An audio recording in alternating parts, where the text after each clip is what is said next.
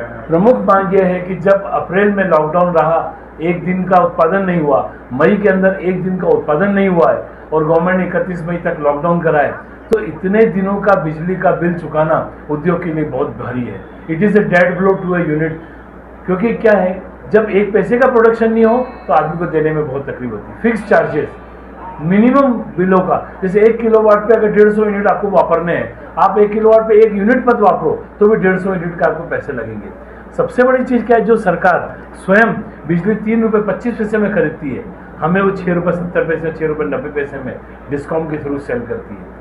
आज वही बगैर वापरे, वो एक यूनिट हमको पचास रुपये से लेकर दो सौ रुपये तक पड़ रहा है।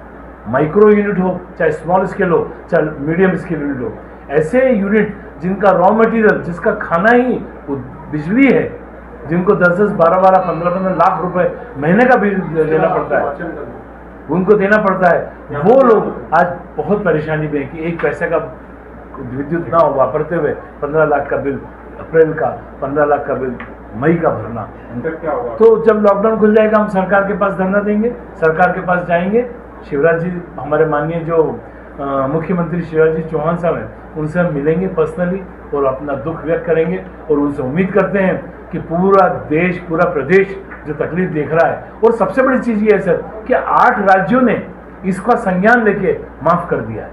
चाहे वो गुजरात हो, महाराष्ट्र हो, राजस्थान हो, छत्तीसगढ़ हो, आंध्र प्रदेश हो, इन सब लोगों ने इसका संज्ञान लेके आठ प्रदेश ने इसका बिजली का बिल माफ़ कर दिया।